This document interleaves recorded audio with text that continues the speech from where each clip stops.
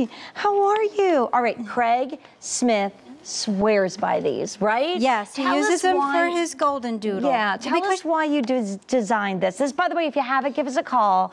It's the harness lead. It has a feature price of $24.96. But why did you decide to, I was to a- design this? I was a volunteer in an animal shelter, Jane, and Mm-hmm. I just walked so many dogs, and there was just a couple of different issues that that needed correction. The pulling was one, Mm-hmm. and then dogs getting loose, dogs that knew how to actually back out of their harness or their collar. So harness lead um, is really an invaluable tool for that because they're unable to back out. They're unable to wriggle out of it. So Right. it gives you a real sense of security. And it helps with the pulling too. Like just the other day, I had a QVC customer call me and say that she has a female pit bull. Right. And it was just pulling so, so bad. And uh, this just you Tried know, it. Totally changed everything for them. So we have the red purple that you've seen tonight. We also have this in black. And then there's two sizes, by the way. The red purple is by far the most limited. So how do we figure out our size? Yeah, so there's two sizes. The small medium is 14 pounds up to 40 pounds. So it's really not for a tiny dog. Mm-hmm. So it's 14 to 40. And then the medium large is 40 and up. Right. So show us what's different compared to another lead because you said Well, I'll show they you don't how- pull and they're not going to get out of this, Yeah. which is like every you know dog lovers and dog owners fear. Absolutely. So I'll show you how it goes on the dog. It's very, very simple, which is another great uh, aspect of it is that is is why some large cat users use this too. Yes, this is true, and pigs and goats. uh, This is true. So to size it for your dog, you can just either make it for small, or you can just size it the collar for big. So for Raven here, it's about this size. Mm-hmm. And the way you size it for your particular dog is you just take your stops and you move them in line with the back of the front leg. So if you do that, it's going to fit any dog's body perfectly. And then you just take the leash and you just go underneath the body and you bring the handle up through the opening, the stop up through, and then you just lower it down. Right. And the way it reduces pulling, Jane, mm-hmm. is when the dog pulls, it's going to tighten around the barrel only. Okay. So there's no tightening around, Around the neck, area, which always the worries dog- me. Yeah, and the dog won't be choking and gagging on the walk. Um, here, Here we you have some see, video. Yes, and here you see uh, Brody, who was a very bad puller. Now this is Charlie pulling on a regular collar. And then we just put harness lead on Charlie, and she is walking right by my side. That is just one shot right after the other. Wow. All we did was change the leash. And there are my four dogs, Oh and I'm my walking gosh. four big dogs with one hand with Who harness is that lead. large one? That's Lucy, Gracie, Baggins, and Rinky.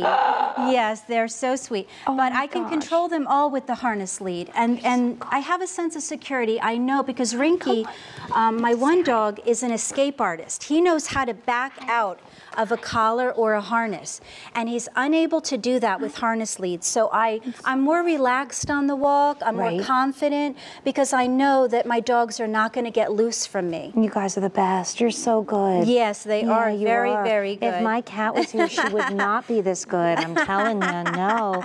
Um, in the red purple that you designed, Yes. the large extra large has just sold out, so we only are left in the black. And I think this is such a great gift. Um, maybe you're a little worried about mom and dad with their dog. Yeah. Taking the dog out for a walk, right? Right. Maybe you're a little bit concerned about a new dog walker that's coming over, or maybe you know this is your child's chore, but you want to make sure um, that that the dog's not getting away. That as a handler, you're not falling. Yes. I mean, this is just all about safety, and it's all about love, and that's what pets are. They give us so much love. I'm so happy that you designed something that's so much better for the dogs. Like. I, I, I was watching you put it on, and I think we have a minute left. Can we show Oh, that yeah, again? definitely. I'm just fascinated with how you figured it out because it's like so different than the way you usually see just a collar and a lead. And Jane, you know what? Sometimes people look at it and they say, I don't understand how this could possibly Right, make a harness. right, right. But it's really so simple that you just can't overthink it. Mm-hmm. So all you're doing is literally just putting it over the head, and then you're just taking the leash and wrapping it underneath the body and bringing everything up through the opening.